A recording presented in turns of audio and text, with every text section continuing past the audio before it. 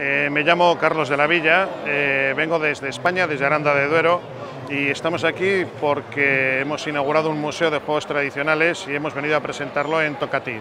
Eh, Tocatí es el mayor evento cultural relacionado con los juegos tradicionales que se celebra hoy día en el mundo.